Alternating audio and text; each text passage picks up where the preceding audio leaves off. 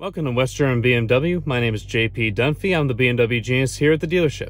So in today's video, I'm going to go over how to pair your Bluetooth device to your iDrive 7.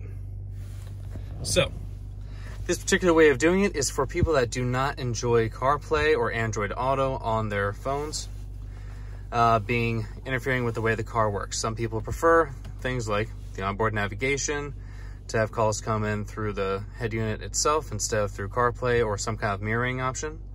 And for those, this is for you. To get started, you're gonna wanna go to Communications, Mobile Devices, thanks fish, Add New Device. From this point, you'll be able to select exactly how you want. Obviously, for now, we're going to start with just Bluetooth. You do that by selecting the first one. At that point, you're going to go into your phone, Settings, Bluetooth, and wait for the BMW to show underneath. So there's showing the iPhone right now, and now there's the BMW. Now what I'm going to do, select from here. Now I'm also going to select in the car. Yes. Yes. Sync. And then at this point, you're going to say continue in BMW iDrive. So that way it bypasses the way to do any kind of connection to Apple CarPlay or Android Auto.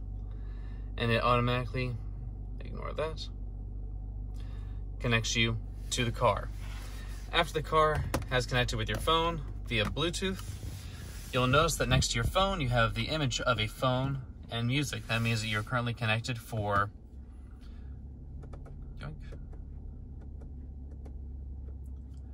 um, Bluetooth audio as well as your phone. You can also, after selecting your phone, scroll down and be able to upload contacts for dictation. So that way you can use the onboard assistant. So that way the BMW assistant can also search for contacts within your phone based on intelligent technology.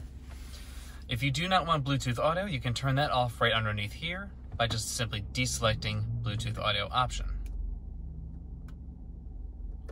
And then of course, for any apps that will be available, you can you can have apps go between your phone and the car, any of them that are part of it, things like Pandora, via this little option here.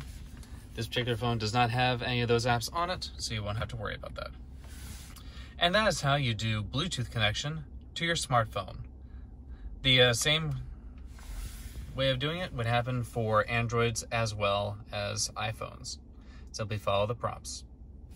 If you have any other options or questions or videos that you would like me to cover, please feel free to leave those in the comments below. And thanks so much for watching and joining us at West German BMW. Have a great rest of your day.